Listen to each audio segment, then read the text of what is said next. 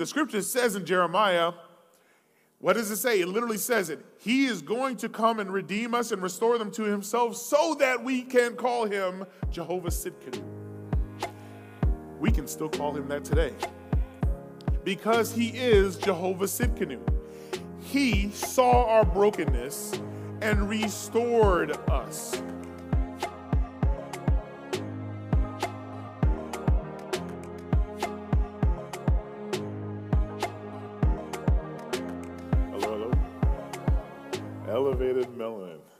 That's uh, sound like an anointing, Pastor. Uh, doesn't come by the laying on of hands, though.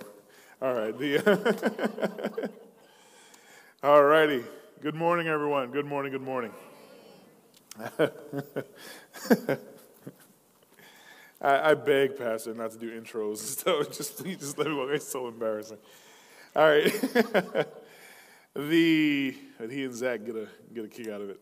All right, so we're talking the last few weeks. We we have been actually a number of weeks. We have been talking about the names of God.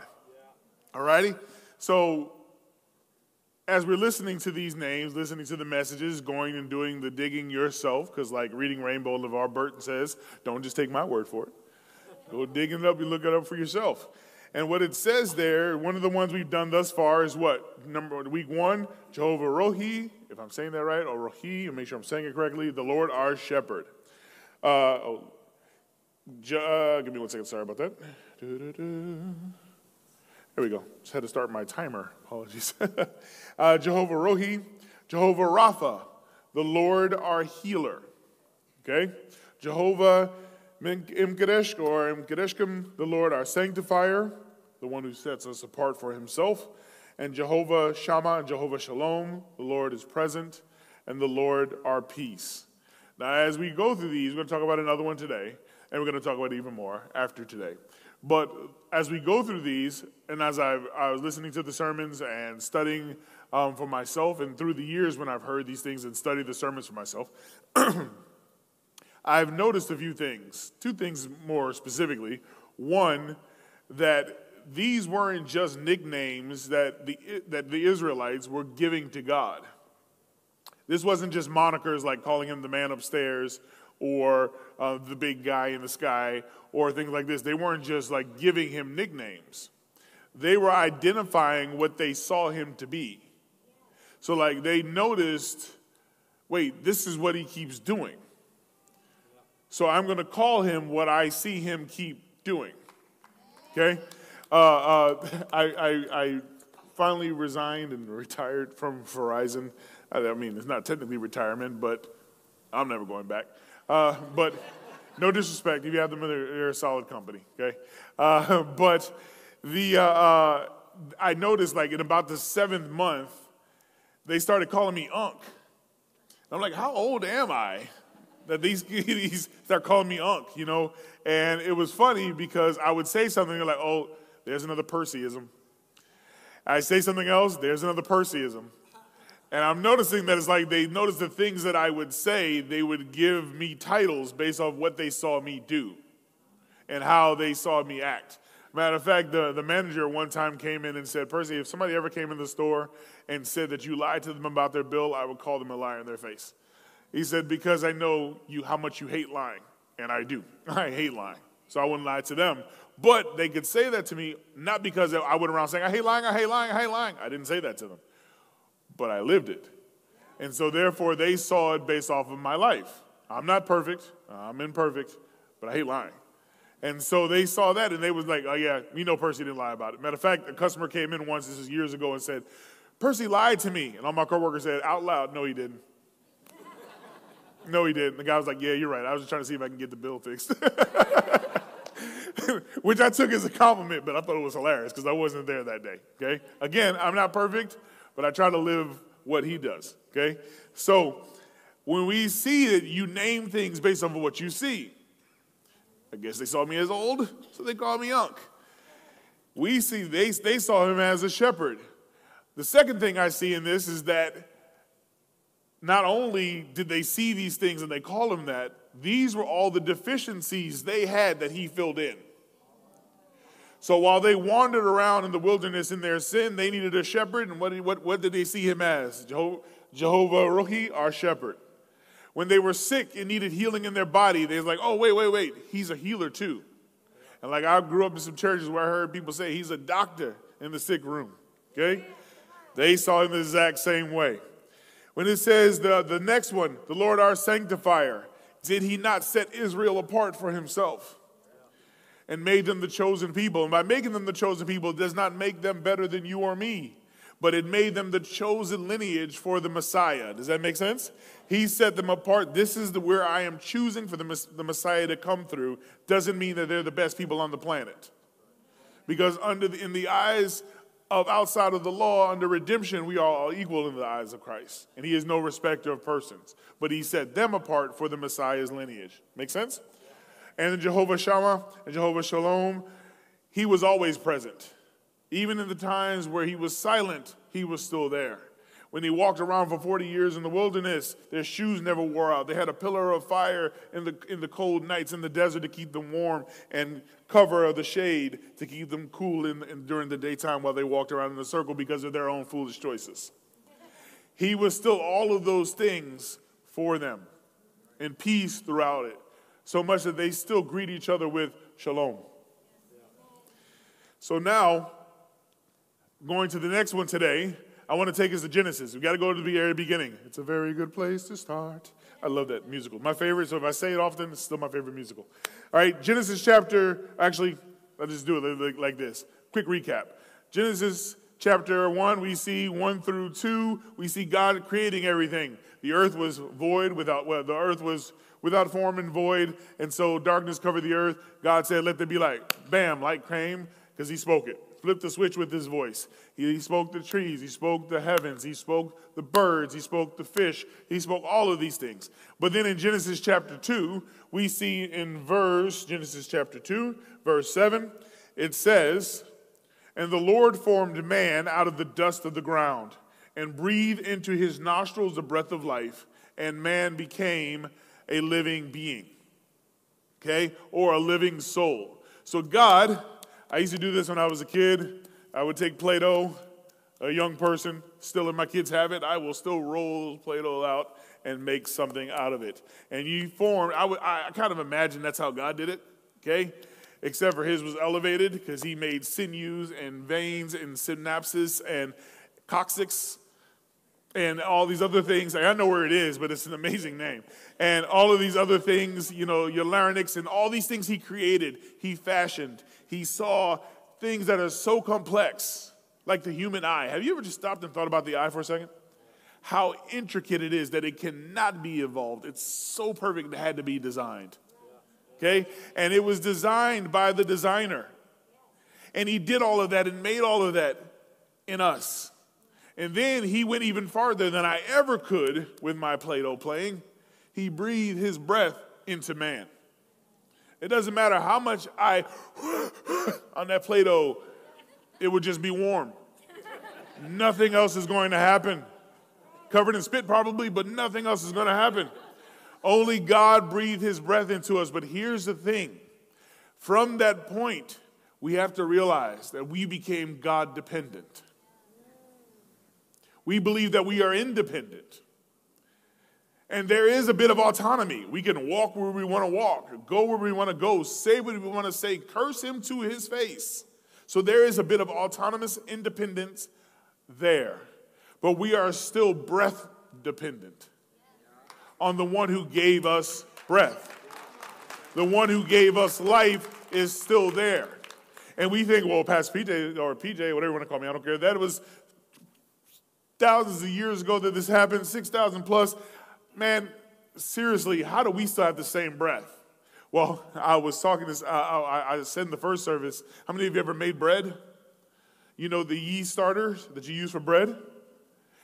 You can use the same yeast starter over and over and over again. You can take it and pass it on to someone else if you have too much. Matter of fact, the lady stopped me in the, in the foyer afterwards and said, Yes, I have one that's over 100 years old that was passed down to her that she gives to someone else. So if we can pass yeast And we can pass starters for bread. You don't think the breath of life can come down through every human to pass down? It does. It passes through every womb all the way down to us till we get to the tomb. And we pass it to the next person. So the breath we have is the very breath that came from God. And mankind said, Hey, you gave me breath, you gave me life, you gave me this earth. In other words, the earth was literally Adam's and Eve's, it was theirs, but it wasn't enough. All the trees, save one, were theirs, but it wasn't enough. Hanging out with God Himself, literally talking with Him, learning about the universe, getting to name the very first science that ever existed, the, the, the science of naming animals. They did. And guess what? Wasn't enough. They wanted more. What did they want? That which they said they couldn't have. Sounds like a lot of marriages. So, how about those cowboys? I'm just joking.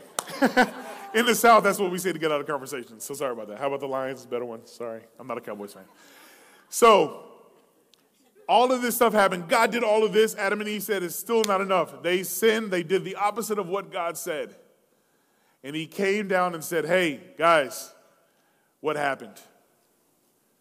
And they tried to, if you notice, the scripture said they covered themselves in fig leaves. So, in other words, they realized that they were indeed sinful. And they had shame based on their sin, so they tried to cover their shame with fig leaves. They tried to use a natural remedy to cover a spiritual problem. And it didn't work. And what did God have to do? Sacrifice an animal, shed the blood to cover them naturally because the one that was coming to shed his blood had not yet arrived. So, a temporary repair to cover a damning sin. And God said, Come on, let's try to fix this. Come on, what did he do? He went to each one of them asking them, Hey, hey, where are you? And I talked about this before, so I'll make it fast. When he was asking, Where are you? he was not asking their geographic location. How do you know that? Because he showed up right where they were. So he knew, he knew exactly where they were. He was asking, in essence, where are you in relationship to, with me? Where are we? Kind of like when husbands and wives have fights and they come back and say, hey, where are we right now? They're sitting in front of the person. They're talking to them on the phone. They know where they are, but they're asking, hey, where do we stand? Are we in a right standing or are we disjointed? So, that being said, they still pushed him to the side, spat in his face, and they took the, they took the blame and shoved it one at him and at others. So what does he do? Okay. Be it unto thy unto you which you have asked for, you may leave. And they now were left out of the garden, they left out of the covenant, and they roam the earth. Thousands of years pass by, all of this stuff, hundreds of years pass by. Nations are formed, nations come up, and God decides to build the, the nation of Israel to carve them out, sanctify them as the sanctifier Jehovah He is, and set them apart so that the line comes out through Jesus. The same Jesus that he actually prophesied as soon as they fell. When the curses were pronounced, in other words, he wasn't cursing them, he was telling them what the consequences of their actions were and what they were going to see because of it. Okay? So he lets them know this is the curse that is now upon you because of your choices. But in that darkness came some light. And he said that snake the woman's seed will crush your head. Now, I've talked about this before. We know that he was talking about Jesus. How do we know that? Because women do not have seed, they have eggs. So, therefore, he's talking about the miraculous supernatural birth coming through a virgin named Mary. He is prophesying Jesus at the point of their fall, saying, Hope is coming. Okay? Throughout time, we see where, throughout the scripture, if you study it, you'll see over and over, he keeps doing it. He keeps giving them over and over signs and things like that to tell them and remind them till we get to Jeremiah. Jeremiah, when this book is written, God's people were in exile in Babylon. Jerusalem and the temple had been destroyed. God raised up prophets, Isaiah, Jeremiah, Ezekiel, and others, who called God's people to repent of their sins and turn back to Him. If they did so, God promised to forgive them. Listen to that. If they chose to repent, that means own their choices, say they were wrong, and go back to Him and say, God, I messed up. Come to Him. The Bible says that He, uh, it talks about how He would forgive them and their temple would be rebuilt, and they will once more live in their land in peace and safety. And the kingdom would be restored, and a righteous king of the lineage of David would rule once more. He would be called, let's keep reading. Jeremiah 23, verse 6 says this. A little pause there. Jeremiah 23, verse 6 says this In his days, Judah will be saved, and Israel will dwell safely. Now, this is the name by which he will be called the Lord our righteousness. Jeremiah 33, verse 14 says this. Actually, I'm going to read uh, verse 16. In those days shall Judah be saved. Uh, I guess I can read 14 because, oh, there it is. In those days shall Judah be saved, and Jerusalem shall dwell safely. And this is the name wherewith she shall be called the Lord our righteousness. The name we're talking about today is Jehovah Tsidkenu, God our righteousness. And what righteousness means there, what righteousness means is the restorer, justice. Let me read it here. It is the justification and restoration of that which is broken to wholeness. That which is lost is replaced, that which is broken is restored. Adam and Eve broke fellowship with God for all mankind. I'm gonna tell you right now, if I go into Disney World with my kids, we have a dream to go to Disney World. We, yes, we have a dream to go to Disney World because I promised the kids when my daughter was like two, and now she's 13, and I owe her a trip to Disney World. I have to keep my word. Okay, so before she graduates, we're going to Disney World.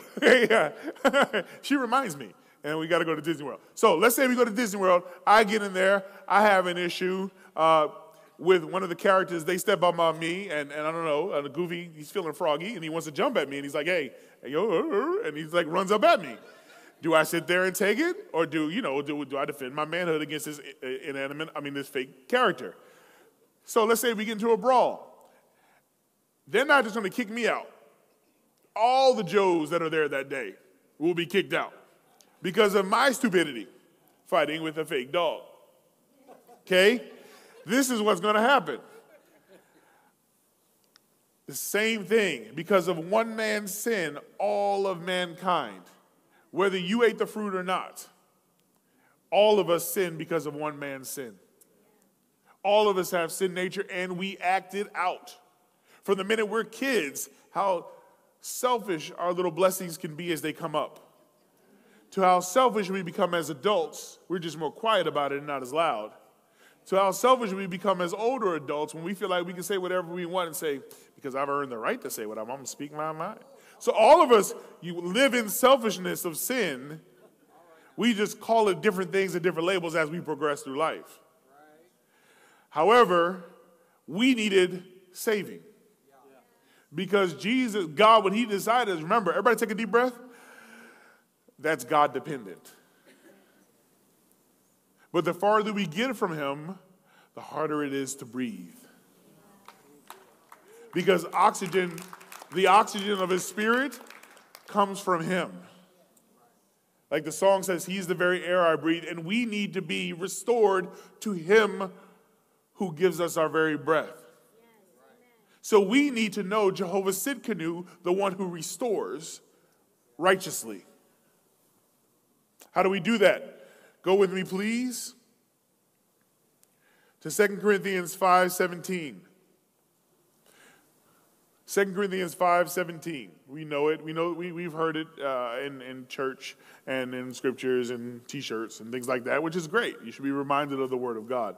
What does it mean concerning us? 2 Corinthians 5.17 in the Amplified says, Therefore, if anyone is in Christ, that is, grafted in, joined to him, by faith and in excuse me in him as savior he is a new creature reborn and renewed by the holy spirit. The old things the previous moral and spiritual condition have passed away. Behold new things have come because spiritual awakening brings a new life. The word here when it says new creature is the word metamorpho where we get the word metamorphosis. And when we think metamorphosis in nature, what's the one thing most of us think about? The caterpillar going to the butterfly. It is the same internally, but they are two different creatures. Same person, different creatures. Okay? Caterpillar, caterpillar couldn't fly. Butterfly don't want to. I mean, don't want to crawl. you know what I mean? Two different capacities. One, a capacity of crawling and groveling. The other, soaring, flying in its full beauty. Us, broken, crawling, gasping for air because we've walked away from the supply. Renewed, flying, soaring, up where we belong, like the song goes. The difference is we are the same person, but different creature. Okay? So when we accept him, let's keep reading here. Verse 18. But all these things are from God who reconciled us to himself through Christ. What is, uh, what is reconciliation? What is a reconcile? If your bank, you have a certain amount of money in the bank, your bank, you go to take it out to go pay for whatever, and you realize you are now negative. How many thousands you have in the bank are not there? You call them, they do a trace and realize that the money somehow got transferred to another account that is maybe one digit off from yours. Okay? So that means it was accidentally put somewhere else. What if you get off the phone with them and you say, All right, cool. Thank you for giving me the information. It's like, All right, no problem. Have a blessed day. And they hang up. No, no, no, no. to quote Method Man, we're at odds until it gets even. Okay? There is a problem that needs to be reconciled, not just recognized. Just because you know there's beef does not mean you have fixed the beef. Did that 80s commercial come to you all too when you heard that? Am I the only person? Okay, thank you. So, God saw the issue and didn't just say, All right, have a blessed day. From the minute, from when they sinned, he presented the plan of reconciliation, talking about Jesus. He talks about reconciliation because in Jeremiah, the prophet was talking about Jesus when he called him reconciliation, Jehovah Tsidkenu. Because God the Father, God the Son, God the Holy Spirit, they are one. Three different ways in function, one in person. And so, therefore, God told them he was coming again. All throughout the scripture, we see Jesus. They call it the, the scarlet thread. Through every chapter, uh, excuse me, every book of the Bible, we see Jesus. God is constantly reminding, He's coming. I'm sending reconciliation. And we are not reconciled with that bank until they put the money back. If you get uh, uh, even more fun, if you order a pizza and it shows up two slices missing, you pay for all 12. Two slices are there. Do they not owe you your two slices? Oh, or you're content because the driver's like, yo, I couldn't find your house. Got a little hungry. Got that from Betty's Hills. Got a little hungry. Ate it. Will you be like, now you could be kind hearted, be like, you know what, bro? Go with God and with pepperoni. Enjoy. And I respect that. Ma'am, you look hungry. You can have more. You can, I have no problem. Be that kind. However, are we not going to call the people? We probably won't even blame them. They're probably not getting paid enough anyway. We'll call the company be like, hey, this came. I need my pizza. Sir, your pizza came to you. It did, but short of what belongs there. I paid for this, this is what I received. When we don't walk in the reconciliation, Jesus paid for wholeness. We walk outside of it, he's not getting his money's worth he's not getting all of what his blood paid for. And the scripture says here that he reconciled us to himself through Christ. What does that mean when it says he reconciled us to himself? It didn't cost you anything, it cost him everything. So the reconciliation that is required, reconciliation is not an option. If we are to be with him forever, if we are to accept Christ and be with him in heaven, because I'm going to say this, I know I say this often, but I'm saying it over and over again because it's something we need to, we need to deal with, something we need to talk about. God sends no one to hell. I, keep, I hear this often, and I'm not saying this with any anger or animosity, however, or any animus at all, but I hear this over and over. How can a good God send good people to hell? First of all, how do we get to decide who's good and who's not? It's subjective. Because Hitler thought he was doing good, Mussolini thought he was doing good. Pol Pot thought he was doing good. Stalin thought he was doing good. Correct? Okay.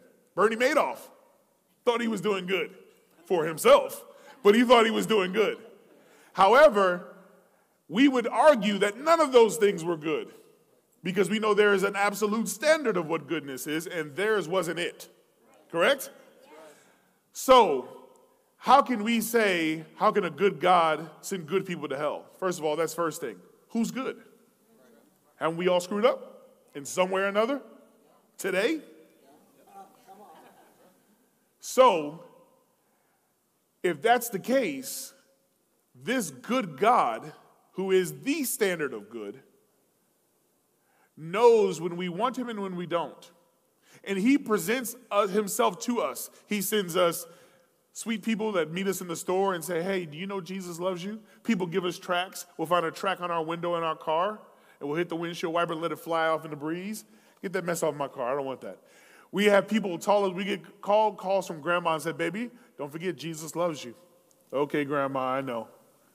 We, we, we wake up in the middle of the night and somebody's preaching on TV. And we sit there for a second and think, I should listen to this. Nah, and turn it over. He keeps sending us flowers, candy, all of these things trying to woo us. But, but, gentlemen, can I ask you a question?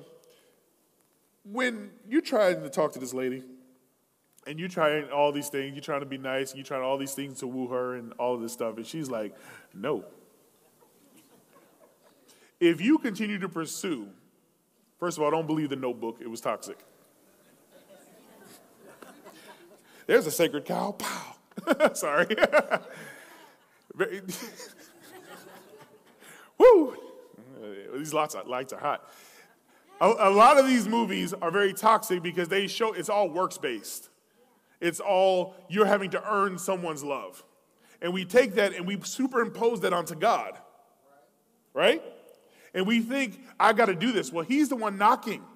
And fellas, if we're trying to meet this lady and trying to talk to her, and she's like, no, if we force the issue, now it becomes kidnapping, abuse, rape, and everything else. So now it goes to illegal. And ladies, if you reject him, which you're welcome to do, if he's not, if he, no thank you, I have no desire, I'm good. How many times before you like, leave me alone, for restraining orders are filed? God is the same way. If he keeps offering you himself, he is not going to force himself on you. He reconciled you through Christ and he offers it as a free gift. If you say no, he allows you to live in the choices, the consequences of your choices. Because all heaven is, is eternity with him. Hell is eternity without him. So if that's the case, if you didn't want him here, he's not going to force you into eternity with someone you didn't want here. Because that would be hell for you. So he will honor your choice for eternity. But I didn't know. Yes, you do. We all know. Because the evidence is clear. All right? So he reconciled us to himself, making, through Christ, making us acceptable to him, and to give us the ministry of reconciliation. That is, that God was in Christ, verse 19, reconciling the world to himself, not accounting people's sins against them, but canceling them. So, in other words, he knew what Adam and Eve did. He knew what Jeremiah prophesied. He knew all of these things. It says humanity is going to need to be reconciled from what Adam and Eve did. Their parents, the first one screwed up, the second Adam has to come to fix it. And the Bible says that he thought it not something so huge to get off of his throne in heaven to come down to become a slave and die for us. So, in other words, he saw you as worthy to die for. Uh, a person, uh, once I was at a grocery store and uh, I opened the door for someone, the Holy Spirit said, Tell them they're worth opening the door for. And I know I was at a gas station. I opened up the door and I said, and I said, You're worth opening the door for. And so I went to go pump my gas. I said, Man, thank you. He came back out to the pump and he was like, No, seriously, I needed that. And I said, God loves you so much, he'd have some random guy tell you at a gas pump how much he loves you. Even more than that, holding a door to someone to show them how valuable it is is one thing. dying in your place to show you how valuable you are is far better. He, I, I got to say this God is not into fake titles. He is not into self grandizing. He is not into putting him up somewhere that he does not deserve. Okay? Doesn't the scripture say, Oh, taste and see that the Lord is good? Don't just take my word that I'm good, try me. So, we can, the scripture says in Jeremiah, what does it say? It literally says it. He is going to come and redeem us and restore them to himself so that we can call him Jehovah Tsidkenu. We can still call him that today. Because he is Jehovah Tsidkenu. He saw our brokenness and restored us. My brother, come here. I think I'm always doing this with you. so let's say we are disjointed because he is there and I am here. But I'm not lording that above him because he belongs here with me. He stepped off the steps. So now what I do is I bridge the gap as Jesus and lay myself like this down over here so he can step up on me, back up to where I put him in the first place. Does not the scripture say that we are seated in heavenly places? Does that mean we're below the throne or sitting with him? But that only comes through restoration. What is righteousness? Restoring what was broken to its original state. Like the Japanese art of kintsugi, a broken pot, broken.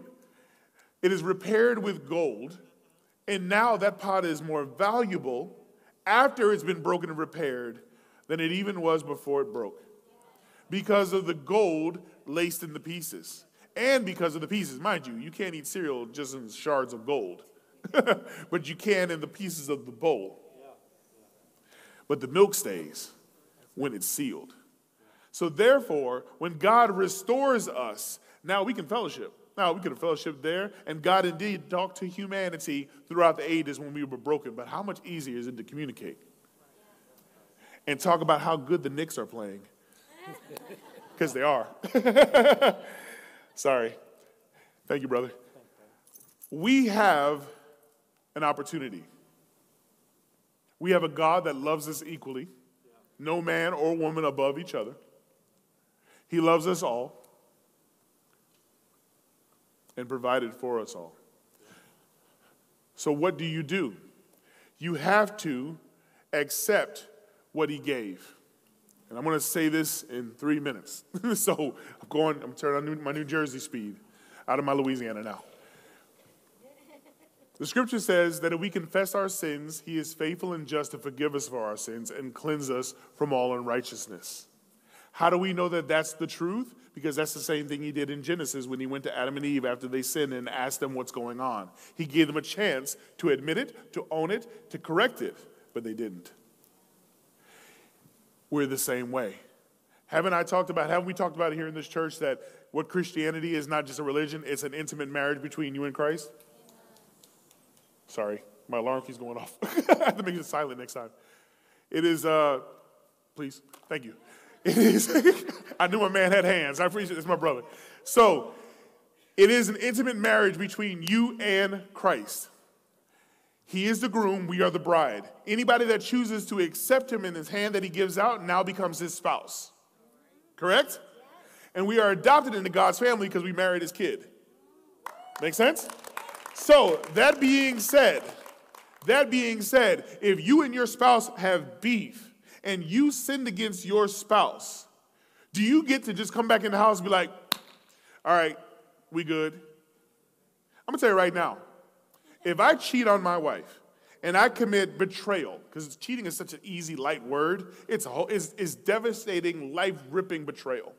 If I betray my wife like that, then guess what? I don't get to just walk back up in the house and be like, hey, we good? We good? Because in the black community, those two words, we good, mean like 17 different things. So I'd be like, we good. We good. That's not how that works. What I have to do is own my crap. Say, I did it. And then say, Will you forgive me? And what can I do to reconcile what has been broken? If you confess your sins, he's faithful and just to forgive your sins and cleanse you from all unrighteousness. The only way, only way to God to accept what he's done for us is to own that we are broken. Shoot, the only way to be successful in Alcoholics Anonymous is to indeed first say, I'm an alcoholic. If you're not willing to own that, you will never get rid of what you're not willing to let go of. And if I'm not willing to let go, own my crap, and say, Jesus, I am a broken man, I need you, then therefore we will never, ever, ever be reconciled. Ever. As I close, doesn't mean it's not available, because it was available to Adam and Eve. But they slapped the hand of reconciliation away by not owning their crap and leaning into the very same person that was there. The very same God that was there who created them could have restored them. So what do we do? I'm gonna read this last thing here. I have time. 12:30, right? I think. Yeah. so trying to be trying to be. Hey, I'm good about my time.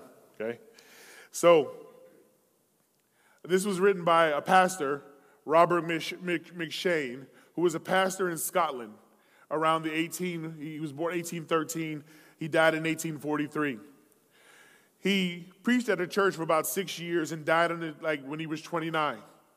When he laid, when he was laid to rest, about 7,000 people came to his funeral because he had touched that community with the grace of God so deeply. And he wrote this. He died, I want to say he died, forgive me. Uh, I'm sorry, I, I forgot what he died from. I apologize. But he died sick. And it said, he wrote this. He said, I was once a stranger, is the name of it. I was once a stranger to the grace of God. I knew not my danger and felt not my load. Though friends spoke in rapture of Christ on the tree, Jehovah Tsidkenu was nothing to me. I oft read with pleasure to soothe or engage, talking about the Bible, how much he read it, Isaiah's wild measure and John's simple page. But even when they pictured the blood sprinkled tree, Jehovah's Tsidkenu seemed nothing to me. Like tears from the daughters of Zion that roll, I wept when the waters went over his soul. Yet thought not that sins, excuse me, yet thought not that my sins had nailed to the tree. Jehovah Tsidkenu was nothing to me. But when grace, when free grace awoke me by light from on high, then legal fear shook me, I trembled to die. No refuge, no safety in self I could see. Jehovah Tsidkenu, my Savior, must be. My terrors all vanished before the sweet name. My guilty fears banished, with boldness I came. To drink at the fountain, life giving and free, Jehovah Tsidkenu is all things to me. Jehovah Tsidkenu, my treasure and boast. Jehovah Tsidkenu, I never can be lost. In thee I shall conquer by flood and by field, my cable, my anchor, my breastplate, my shield. Even treading the valley, the shadow of death, this watchword shall rally my faltering breath. For, for while from life's fever my God sets me free, Jehovah Tsidkenu, my death song shall be. He didn't think Jehovah Tsidkenu righteousness was necessary. Because if you read through the poem, he tells you the journey of who he was. And in the beginning, he even read the Bible and Isaiah and John, how cool it was. But Jehovah Tsidkenu wasn't a point for him. Even if he heard, my sins died on the tree, for what? But when he realized that he also needed to be redeemed, he went from Jehovah Tsidkenu, means nothing to me, Jehovah Tsidkenu takes me through my dying breath. He died restored. But his body was broken, but his spirit man restored. So the question I ask you, as we close, the question I ask you if you die to be 112, or if you pass away from some disease, God is a healer, He is a restorer, so we can stand indeed for you. But like Him, if that happens, or if you die 70 years from now, will you have let Him restore you? because all have sinned and fallen short of the glory of God, starting with me. We are all broken. We all need a Savior. We're all disjointed until we accept Him. And then He does the work for you. He is like the husband that buys the land, has the house, has the money, has the cars, has everything laid out for you. Your future is secure if you accept His hand in marriage. And He's offering it to you free. You don't have to join this church. We're glad to have you, but you don't have to. That's not what gets you the free gift. Gets you friendship, kind people, but not eternal salvation. You don't have to change political parties. You don't have to change your clothes, your outfits, whether you wear a skirt or pants. You don't have to change any of that, but you do have to change the partner you're dancing with eternally. You do have to change spouses from being married to Satan to accepting Christ. So please close your eyes with me. We're going to give everybody the same chance and repeat after me. No embarrassment, just Christ. Say, Jesus, I've heard about you. I've learned things about you along my life's way. I'm broken. You see things nobody else knows. Things I, I hope nobody else knows. But I need change. I'm suffocating in this. I want you. I hear you can help. I hear you can change me. I give myself to you. Change me, Lord. Forgive me of my sin. Forgive me of the things I've done, the things I've said, the choices I've made that have pushed me away from you. I come to you now. Thank you for taking this broken person and restoring me unto you. I accept you, Christ. I accept your hand in marriage. Amen. I want to tell you something. Just like salvation is just like marriage. You don't come to this altar, the justice of peace, anywhere. I don't care if you got married on a volcano side somewhere in, in Maui. If you say those vows there and then walk away from that person forever, you're legally hitched, but you're not married. You may have legal documentation, but that doesn't mean you're intimately married. If you make a decision here today, pursue him. Because he's hot on your trail. Meet him halfway. He loves you, scars and all. He's got gold for your broken pieces. If anyone said that and you accepted him, you are not alone. We are here with you and for you, standing with you. After service, the Freedom Team will be up here. We encourage you to come up here and speak with people and say, hey, I'm, I'm who he was talking about. I want change. Can you help point me to him? And we are here for you and with you.